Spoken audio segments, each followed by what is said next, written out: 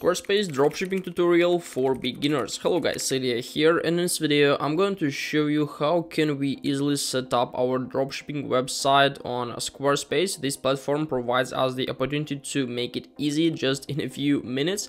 So here we are on squarespace.com and in order to get started we just simply need to click on this button right up here or right up here and if you're new to this platform you'll have to create an account. You can easily do it with your Gmail account so nothing nothing hard and we'll come to this page where we can easily find a lot of different templates. By the way, in this video, I'm going to show you how can we easily add products, manage orders, uh, manage our website design and so on. So watch this video till the very end so you won't make any like mistakes or something like this. So here we are on our template page and um, all we need to do is just simply click on online store to choose the necessary type of course, we can use like other templates if you want to you know like add our payment methods add products by ourselves but sometimes it's much easier to use templates we already have uh, just use them as a platform to sell our stuff. I think that will promote our product somewhere else like on facebook instagram or maybe like even tiktok. So here we have a couple of uh, different um, a couple of different templates we can easily use. Some of them are free, some of them are like we have to pay for them, but um, there are a lot of options we can uh, like use for free. For example, this one is pretty good, just really simple template. Um, like we have only like name of the shop and we have our products we can easily sell. If you scroll down for a little, we can find this one here where we can find some additional information about our brand. Uh, we can add like some additional pages, shop, about, journal, and contact, for example, if you want to add some additional information. And also we can present our products a little bit better. And as for me, um, like it's enough to find these templates here. And I want to use this one as for me this design is pretty like easy simple and easy to deal with. So uh, we need to click on use this design and in a few seconds our website will be automatically created. And here we are we need to set up our title let it be uh, let's uh, let the name of our site will be like helper on just the name of our channel. Let's click on continue, next, next, and get started. And here we are on our dashboard, on our workspace with our website. In the left side, we can find a couple of options we can manage. And in the right side, there is like website view. How will it look like? We can easily click on edit to interact with design. But firstly, I suggest you to click on this icon with this brush. So we need to click on site styles and we can easily, um, you know, I change a lot of uh, things which are general for the website. So like fonts, colors, animation, spacing, and so on. I want to change uh, fonts because in my case, I want to use uh, this one here. As for me, this uh, font like group is the best on Squarespace. And also I would like to play with color palette. As for me, it's much interesting to use some warm colors. For example, this one here, or maybe even this one. So let's use this one. And also I want to change uh, animation. So let's open animation, fade, and let it be like this.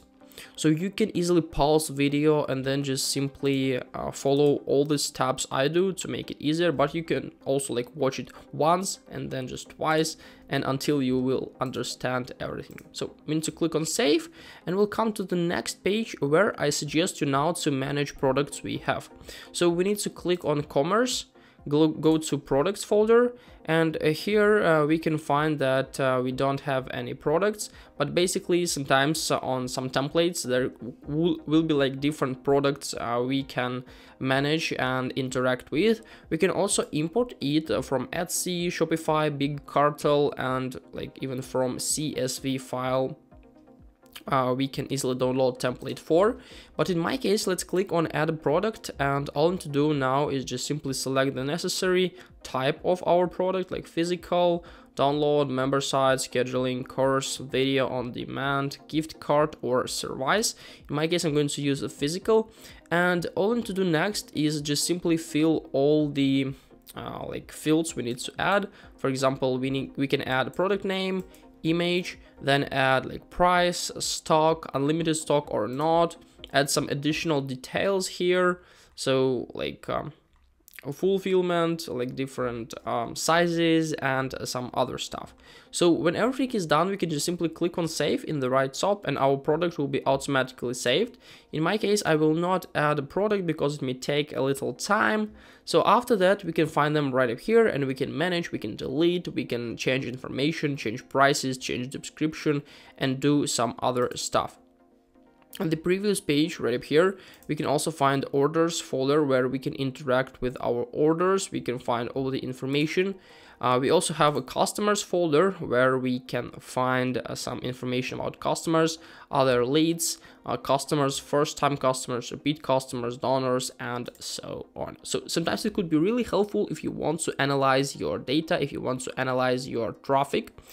Uh, and what is interesting uh, according to traffic stuff is that we can go to marketing here and on the SEO appearance we can manage some information to make it easier for browsers to show our website. So firstly we can change a SEO title format.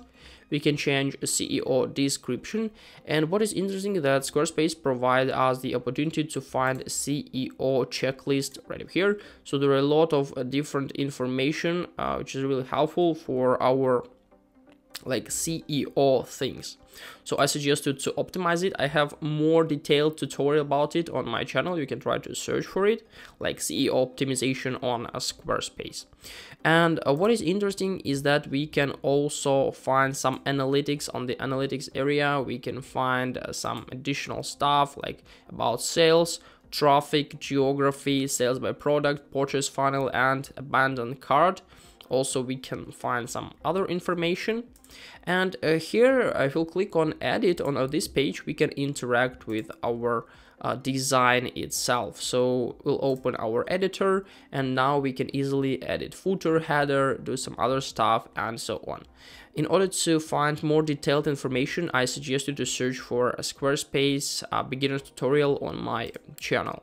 So if we'll try to discover plans for our dropshipping business we can see that there are three plans available for like uh, commerce stuff, business, uh, basic commerce and advanced commerce, we can find all the differences. But as for me, of course, uh, the most suitable is advanced.